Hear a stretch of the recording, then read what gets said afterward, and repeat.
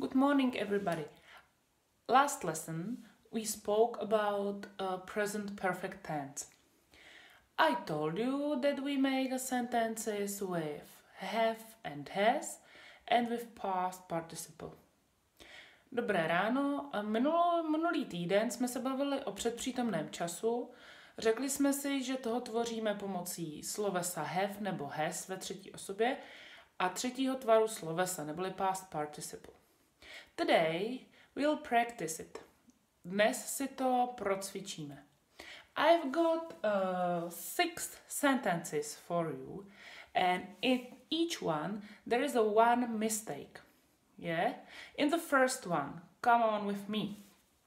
We has waited for hours. We have we has waited for hours. Can you see the mistake here?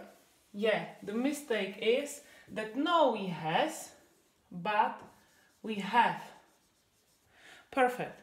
The next one. I have saw your mom. Can you see the mistake? Yeah. So it's not past participle. I have seen. Yes, your mom. Number three. My brother has locked the door. Can you see the mistake? Yeah, my brother has not locked, but there is locked.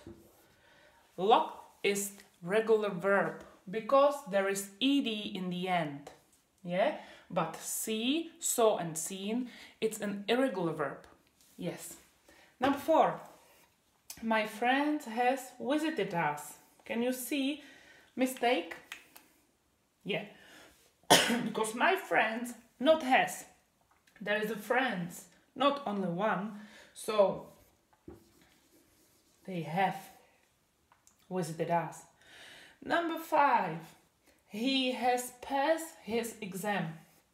Can you see the mistake here? Yeah, he has, it's a correct, but not only pass, but passed. It's again regular verb. My sister have eaten my cake. Hmm? Yeah. My sister, so it's a she, yes. So my sister has, because my sister is she. Again, we have waited for hours. It's a regular verb with ed in the end. I have seen your mom. Seen, it's irregular verb. See, saw, and par past participle is seen. My brother has locked the door. My brother, it's he, yeah, has locked. Regular verb with ed in the end. My friends, because it's a friend, have visited us. Again, regular verb with ed in the end. He has passed his exam. He has, yeah, and passed again, regular verb. And my sister has eaten. Eaten is irregular verb and it's eat, ate, and eaten. And now I've got a special activity for you from the other page. And on the other page, can you see that? There are six sentences and this sentence is for you.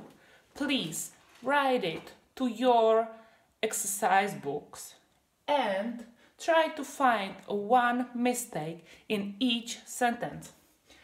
There is one mistake. I have saw your mom. Hmm, was a mistake.